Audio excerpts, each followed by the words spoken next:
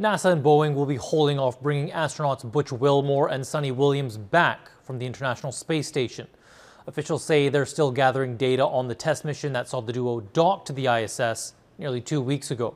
This is the third time Boeing's Starliner has seen its return trip delayed. The spacecraft has faced a number of issues in both the lead up to the launch and on this mission.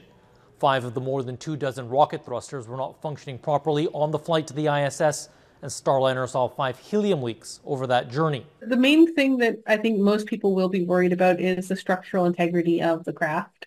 Um, and anytime you have a leak, uh, there's a potential for things coming loose. NASA and Boeing say those leaks have subsided and it tested the thrusters this weekend with all but one fully functional. The project has been plagued by delays and running over budget by $1.5 billion. NASA's identical program with SpaceX has seen dozens of completed trips to the ISS. This test flight was planned to run for a week, but can last up to 45 days. Starliner's first mission is set for next year and will see three astronauts, including Canadian Joshua Kutryk, take Starliner to the ISS for six months. Kyle Benning, Global News.